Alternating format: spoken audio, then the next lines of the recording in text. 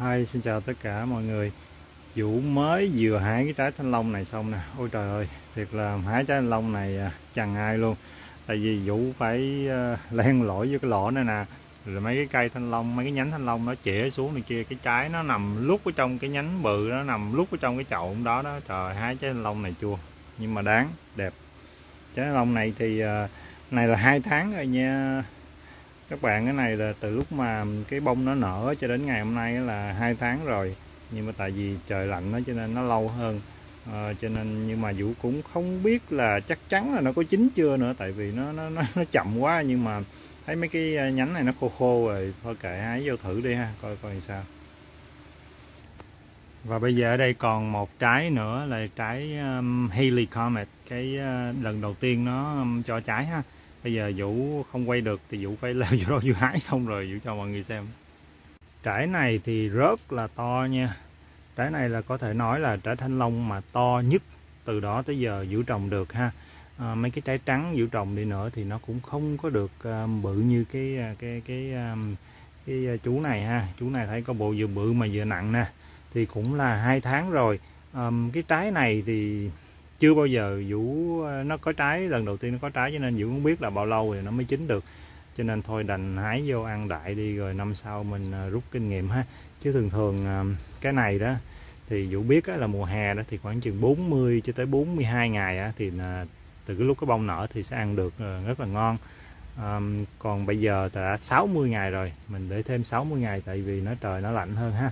Nhưng mà cái thanh long mà nó ra vào mùa fall ở Arizona đó thì uh, nó ra trễ đó thì vì không khí ờ, thời tiết mát mẻ rồi đó có bộ cái trái thanh long nó tốt và nó bự hơn ha. Ờ. Và đây, trái thanh long bự thì là một pound 7.8 ounce, tức nghĩa là khoảng chừng một pound rưỡi đó ha. 674 gram. Hơn nửa ký. Trái nhỏ thì nhẹ rồi. Trái này là trái ờ, Delight. Rồi đúng, nửa ký luôn 500 gram vì khi mình mua mình trồng tới ngày mà nó ra trái đó mình cũng không biết nó là trắng hay đỏ hay là đúng hay không đúng ha. bữa kỳ đó vũ nó bị một lần rồi. Còn cái trái này đúng của nó là nó phải là cái ruột nó là ruột uh, hồng tím tím tím hồng hồng. À, chuẩn bị nha. Sau 3 năm chờ đợi. Wow. Phải nói là màu thanh long rất đẹp giống như cái màu giống như là cái trái khoai mỡ vậy đúng không? Giống như trang như cái trái khoai mỡ Việt Nam mình nữa ăn đó. Nhìn rất là ngon ha nhưng mà để coi có ngon không nha. Thử miếng coi vỏ rất là mỏng nha siêu mỏng luôn. Hầu như không thấy cái, cái vỏ luôn. Rất cắt ra cái là cái cái vỏ nó tróc ra luôn nè. Thanh long siêu mỏng.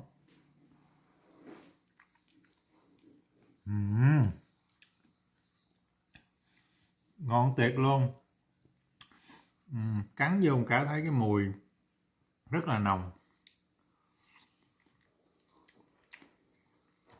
The the chua chua, mà có vị ngọt. Trái thanh long. Trái thanh long đáng chờ đợi á. Đáng chờ 3 năm. Rất là ngon luôn. Rồi, còn trái này là trái delight bây giờ sẽ sắc ra coi cái trái này nó như thế nào. Trái này thì nó nhỏ hơn cái trái hôm qua.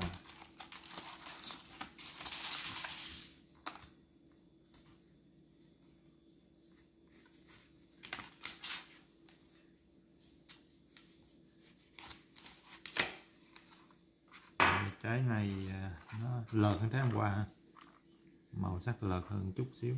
Ừ nhưng mà cái vỏ thì dày hơn ha, vỏ dày hơn cái trái hôm qua. Trái hôm qua vỏ rất là mỏng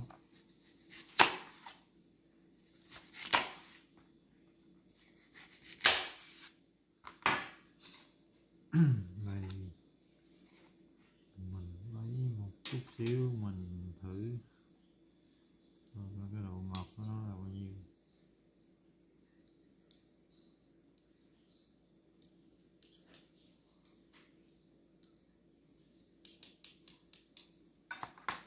trái này cái màu nó không có đỏ như trái hôm qua